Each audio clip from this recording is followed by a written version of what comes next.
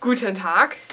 Ich habe heute ein Special Effects Video für euch mit einem Special Guest, also diesmal nicht an mir, sondern an einem männlichen Wesen, welcher nicht ganz erkannt werden darf, was glaube ich auch gut so ist, weil ansonsten würdet ihr euch alle genauso in ihn verlieben wie ich.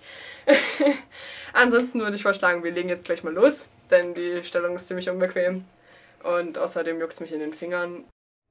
Okay, los geht es auch schon. Wir fangen am Anfang gleich an, damit uns die Umrisse vorzuzeichnen für die Wunde. Damit kriegt ihr einfach einen besseren Überblick darüber, wie das Ganze später aussehen wird, wie groß das Ganze ist und wie es sich halt einfach im Gesamtbild einfügt. Es kann ja sein, gerade wenn ihr das zu Halloween machen wollt, dass ihr noch etwas anderes dazu machen wolltet. Weiter geht's jetzt mit einer Lage Latex die wir erstmal grundlegend auf die Haut aufbringen. Ihr solltet die sehr großzügig verteilen, denn wir arbeiten heute mit Watte. Und Watte saugt sich sehr schnell voll und das ist, wenn ihr nicht genug Latex benutzt, ziemlich schwer damit zu arbeiten. Generell ist Watte eine sehr fisselige Angelegenheit und ihr solltet es vorher mal ausprobieren, bevor es ähm, ja, in die heiße Phase geht. Jetzt zerreiße ich die Watte und ich lege die auf die Haut auf. Und ich nehme jetzt viel Latex und trage das Ganze auf die Watte auf. Ihr werdet jetzt sehen, dass das Ganze am Schwamm kleben bleibt.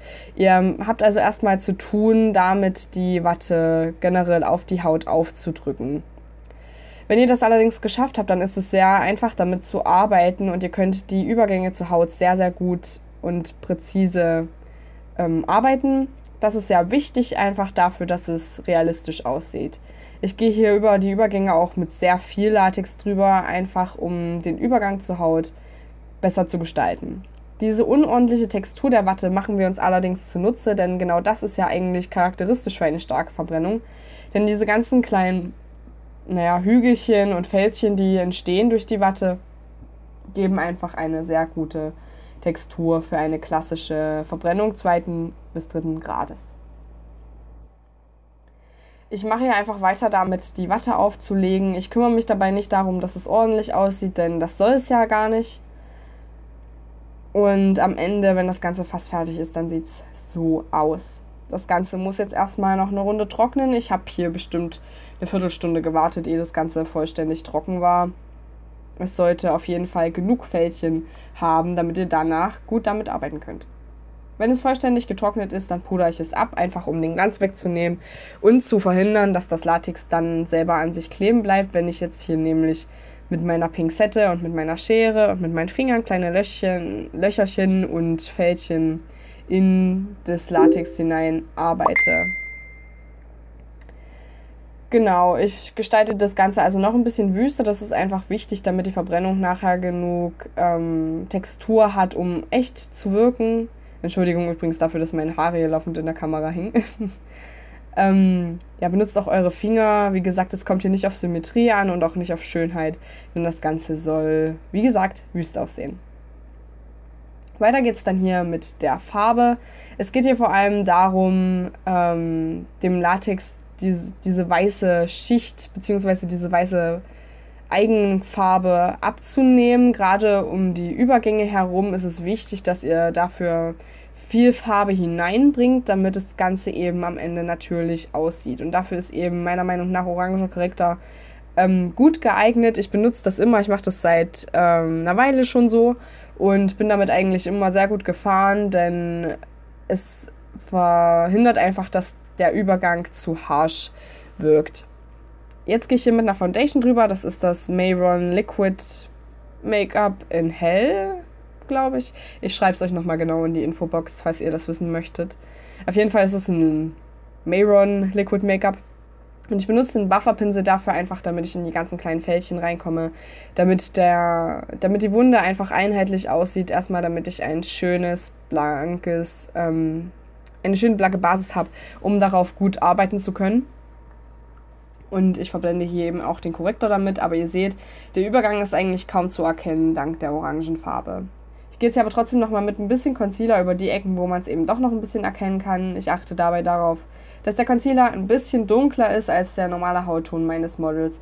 Einfach um, wie gesagt, diesen weißen, diese weiße Farbe unter der Foundation noch ein bisschen mehr zu verstecken. Genau, jetzt nehme ich so dunkle rosa Brauntöne, um ein bisschen Tiefe in die Verbrennung hineinzuzaubern. Ihr müsst bei Verbrennung allerdings darauf achten, dass nicht die tiefsten Stellen der, in der Wunde eben dunkel sind, sondern die höchsten, weil die eben am nächsten am Feuer sind, logischerweise. Ich bemühe mich hier einfach darum, der Wunde ein bisschen Textur und ein bisschen Farbe zu geben. Ich habe hier keine bestimmte Struktur, macht es einfach nach eurem Empfinden und ähm, ich plane hier auch nichts voraus. Ich mache das einfach alles so spontan. Ich nehme jetzt rotes Puder, das ist einfach ein Rouge, um damit eigentlich eine allgemeine Irritation zu erzeugen. Das ist wichtig einfach, wie ich gerade eben schon sagte, damit das Ganze einfach mal eine generelle Farbe bekommt, damit das nicht so einheitlich aussieht und damit man eben den Unterschied von der gesunden Haut zur verbrannten Haut sieht.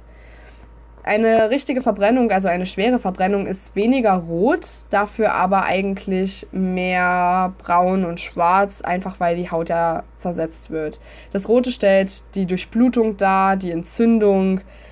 Ähm, achtet einfach darauf und macht nicht alles grundsätzlich rot, sondern eben nur ein paar ähm, Punkte, wo ihr sagt, ja, das sieht gut aus am Ende, das will ich so und achtet darauf, dass ihr nicht zu viel am Rand der Wunde auftragt.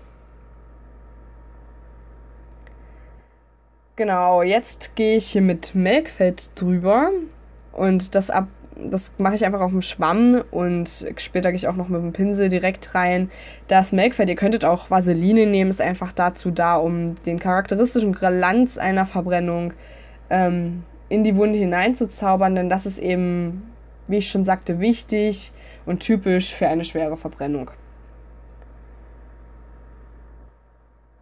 Ja, jetzt gehe ich hier, wie gesagt, mit dem Pinsel nochmal rein und mh, mm, mache hier ein paar Stellen besonders glänzend. Das sind die, wo die Verbrennung auch am schwersten später sein wird. Über das Melkfett habe ich jetzt noch ein bisschen Kunstblut mit dem Schwamm getupft, aber das ist weniger, um es blutend aussehen zu lassen, als einfach um die Rötung hervorzuheben. Jetzt nehme ich schwarzen Lidschatten und ähm, mache das einfach auf die höchsten Punkt der Verbrennung. Das ganze Schwarze sollte jetzt nicht Überhand nehmen, denn dann wirkt das Ganze irgendwie unausbalanciert und es sieht dann am Ende auch einfach nicht mehr gut aus. Genau. Macht, nimmt nicht so viel Kunstblut, es soll nicht zu rot sein, nicht so viel schwarz. Aber dann sind wir hier auch schon fertig. Wir sind am Ende angekommen. Ich hoffe, es hat euch gefallen und ihr konntet was daraus mitnehmen. Wann auch immer ihr vorhabt, eine Verbrennung zu schminken. Ich hoffe, es hat euch eben was gebracht. Für heute sind wir hier jedenfalls fertig. Ich wünsche euch noch einen schönen Tag und bis zum nächsten Mal.